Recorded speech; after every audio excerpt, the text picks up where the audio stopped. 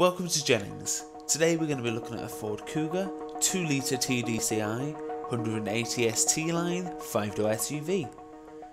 This vehicle was first registered in July 2017 and has done 6,964 miles. It's a 2 litre diesel engine with manual transmission. This vehicle also has keyless entry so you can walk straight up to your car and get in. This vehicle has a very spacious and comfortable feeling interior, both in the front and in the back. Back passengers also get cup holders and electronically controlled windows. There's tons of room available in the boot and it has a power tailgate, which is always handy.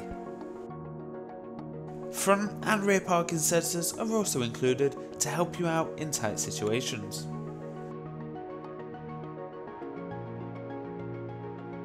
There is a built-in sync navigation system which is very easy to set up and use. It also has a rear parking camera to give you an extra helping hand when you need it most.